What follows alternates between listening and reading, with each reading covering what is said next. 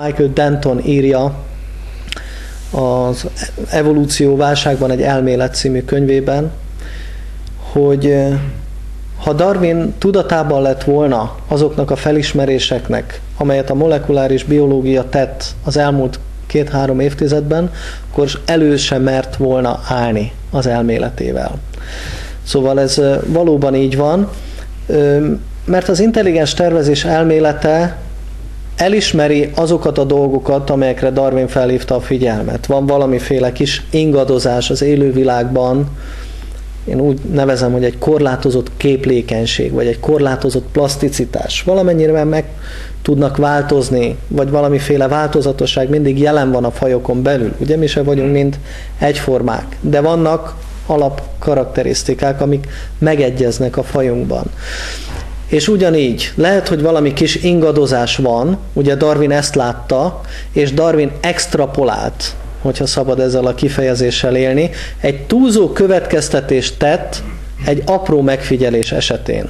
Ugye az egyik barátom azzal a példával szokott élni, hogyha egy csecsemőnek megnézzük a fejlődését az első évben, olyan gyorsan gyarapszik, hogy ha abból egy következtetést akarunk levonni, hogy 70 éves korában mekkora lesz, akkor arra jutunk, hogy több száz kiló lesz.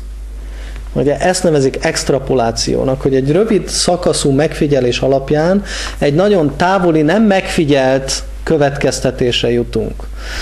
De hogyha korrekt módon nézzük ezt a kis változékonyságot, amit az élővilágban megfigyelhetünk, ezt láthatjuk úgy is, hogy ez csak egy ingadozás, hogy ez egy bizonyos körön belül van. Hogyha már Darwin pintjei szóba kerültek, akkor hadd mondjak egy kísérleti eredményt ezzel kapcsolatban.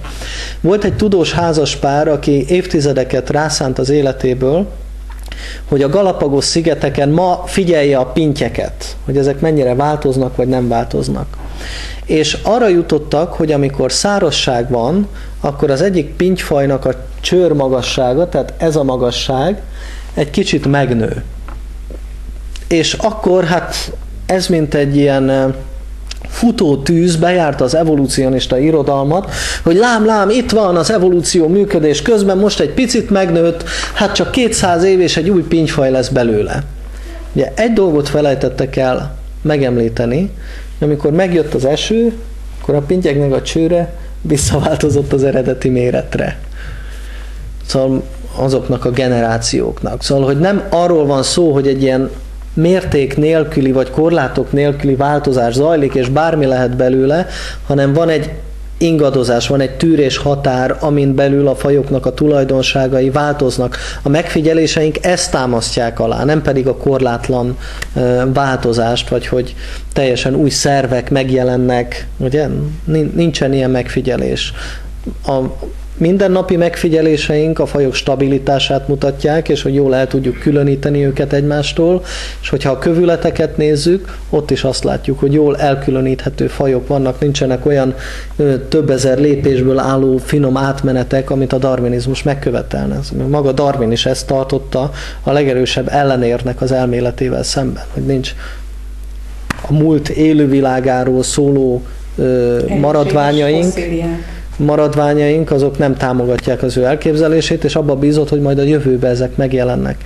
De ma sincsenek ilyen finom átmeneti sorok. Ugye néhány élőlényre próbálják ráfogni, hogy ez átmeneti láncszem, de lehet, hogy csak egy önálló fajról van szó, aminek megtaláltuk a maradványait, és az sem ment át sehonnan sehova, hanem mindig olyan volt, ami ennek ismerjük.